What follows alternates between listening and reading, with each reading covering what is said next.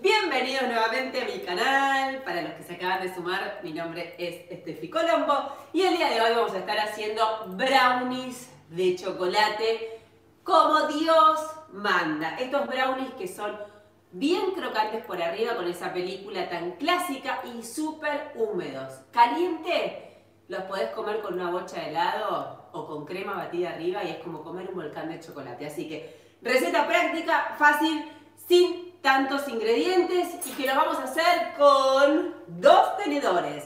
Nada de batidoras, nada de cosas, utensilios extraños, así que con dos tenedores a hacer esta súper torta para agasajarnos. Ideal para el Día de la Madre, ojo ojo.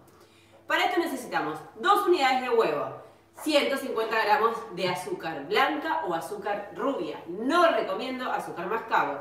Después tenemos harina 4 ceros, la que no tiene polvo leudante, 50 gramos.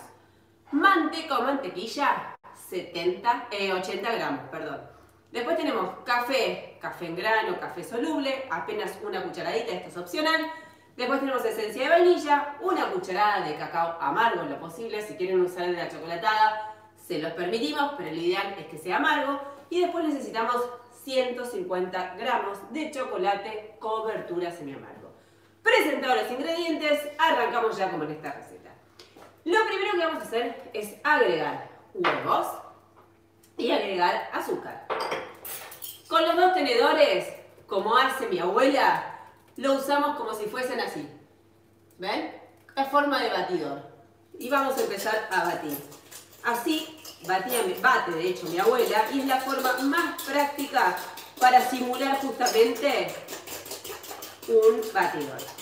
Fíjate que cuando haces un brownie, primero, el primer, lo primero clásico de un brownie que todos piensan es necesitamos harina leudante. No, el clásico brownie, por lo menos para mí, para Steffi Colombo, tiene que ser bajito, no algo finito como un pionono, pero algo bajito, no tan alto y que sea extremadamente húmedo y que tenga esa capa crocante arriba. Eso es lo básico para tener un buen resultado. ¿Cómo logramos esto? Con la cantidad de azúcar que les acabo de, pasar. 150 gramos de azúcar. Eso es lo que va a hacer que esa capita sea crocante por arriba. Si tiene poca cantidad de azúcar, esa capita no se va a lograr. No lleva harina leudante, no tiene que crecer este brownie. El brownie tiene que ser compacto, sólido, cremoso, y bien, bien húmedo adentro, lleno de sabor. Cuando lo comas en boca, sientas que ese chocolate se está fundiendo y esa capita crocante que tiene arriba decís, wow, me explotó la boca. Batís ligeramente, no necesitas ningún punto, fíjate. Con dos tenedores, batís 30 segundos, un minuto y ya está. No se necesita un batido blanco, no tenés que tener los huevos súper aireados, no hace falta. Una vez entonces que tenés los huevos ligeramente batidos, le vas a perfumar con un poquito de esencia de vainilla, esencia de almendras también queda muy bien. Y lo que vas a hacer es, al café, al chocolate, perdón, le vas a agregar una puntita de café. Lo vas a mezclar. El café es opcional, pero lo que hace es potencia y realza aún más el sabor del chocolate. Así que se lo súper recomiendo. Es un tip que le tiro que cada vez que utilicen chocolate le agreguen una pizca de café para potenciar aún más su sabor. Le agregamos ahí la manteca o mantequilla que estaba previamente derretida y unimos el chocolate, el café y la manteca o mantequilla. ¿Quieren usar margarina? Sí, lo pueden hacer, pero por supuesto después en boca al sabor no es lo mismo que la manteca. Unís rápidamente y ahora, así como estamos, yo tenía el chocolate fundido a baño María, lo pueden derretir a baño María o de a 30 segundos en microondas.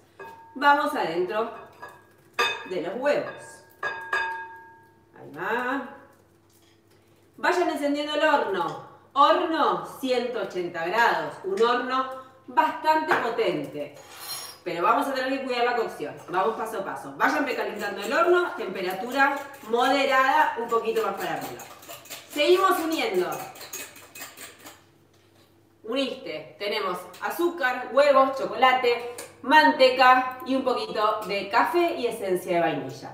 Hasta ahora, básico. Seguimos con algo básico.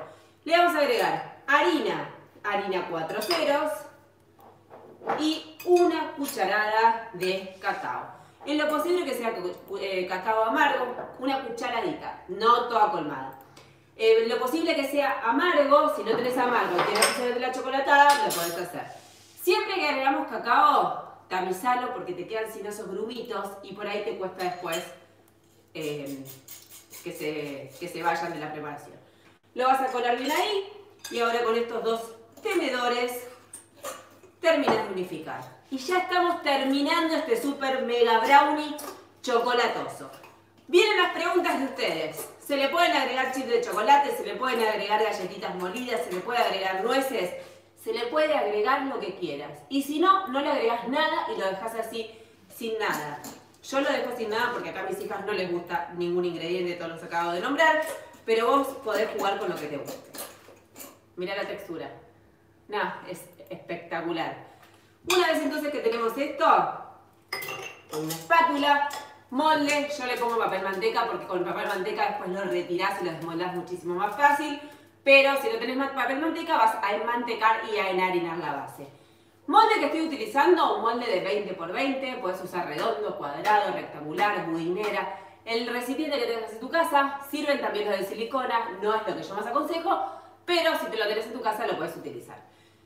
Lo vas a colocar aquí y ahora vamos a poner la preparación en el molde.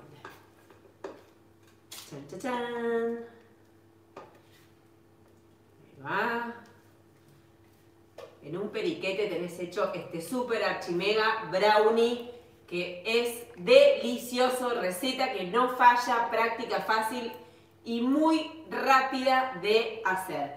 Entonces, una vez que lo tenés ahí, lo acomodás en la base del molde y vuelvo a repetir, para mí el brownie no debe ser alto y súper esponjoso, tiene que ser normal, como de 2 centímetros, con capita crocante y extremadamente húmedo, que sea bien bomba como Dios manda.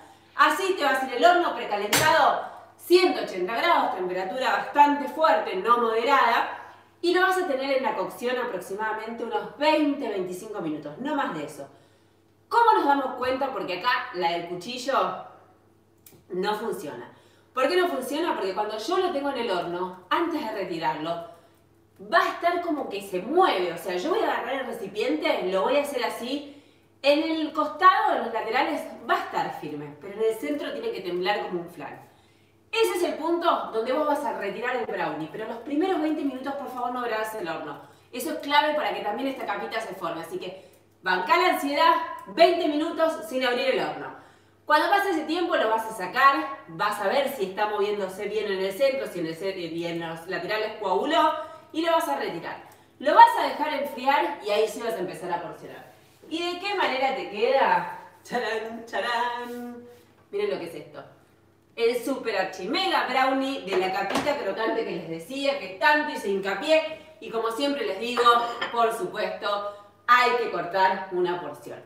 ¿Quieren espolvorear azúcar impalpable? Será muy bien recibido, si no, lo vamos a cortar así.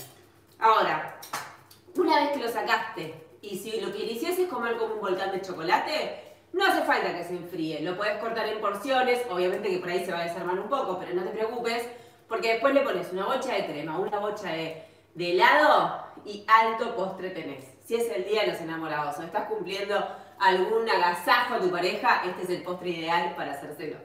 Vamos a cortar una porción. No saben lo húmedo que es. Es muy bueno.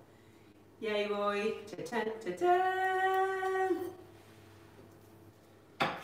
Les voy a acercar bien para que puedan ver. Y miren lo que es.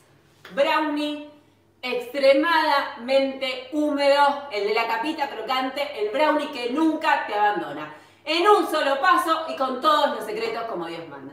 Espero que les haya gustado la receta, me manden sus videos, sus fotos y nos vemos la próxima. Gracias.